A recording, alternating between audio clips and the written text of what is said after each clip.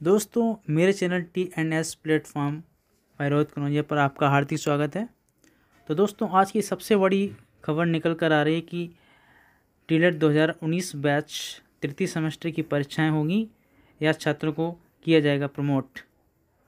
तो दोस्तों, आज की सबसे बड़ी खबर है कि जो डीलेट 2019 बैच जो प्रशिक्षु हैं उनमें से पाँच हज़ार प्रशिक्षुओं ने शिकायत दर्ज की है। कि छात्रों को प्रमोट किया जाए या उनकी जल्द से जल्द परीक्षा की जाए। तो दोस्तों, जैसा कि आप सभी लोग जान रहे होंगे कि 2019 डी डीलेट 2019 बैच का जो फोर्थ सेमेस्टर का जो पूरा टाइम है, वो छः अगस्त को पूरा हो जाएगा।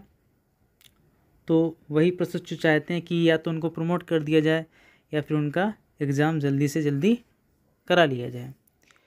तो हो सकता है कि कोरोना कोरोना भी उस, महामारी भी उस, काफ़ी हद तक कम हो रही है। तो शायद छः अगस्त से पहले डीलेड 2019 बैच का एग्ज़ाम करा लिया जा सकता है। तो दोस्तों, यही थी आज की सबसे बड़ी खबर कि हो सकता है कि एग्ज़ाम जल्द से जल्द करा दिया जाए, क्योंकि कोरोना महामारी जो है, उसमें कुछ हद तक सुधार आया है। यूपी सरकार चाहेगी कि डीलेट जो 2019 बैच का एग्ज़ाम है, वो जल्द से जल्द करा लिया जाए।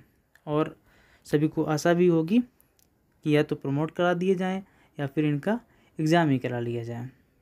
तो दोस्तों, अगर मेरा वीडियो अच्छा लगा तो मेरे चैनल को सब्सक्राइब कर लें और बेल आइकन पर प्रेस कर लें, जिससे कि एजुकेशन से जुड़ी खबर पाने के लिए आपके पास सबसे पहले नोटिफिकेशन पहुँच सके। थैंक यू फॉर वाचिंग धन्यवाद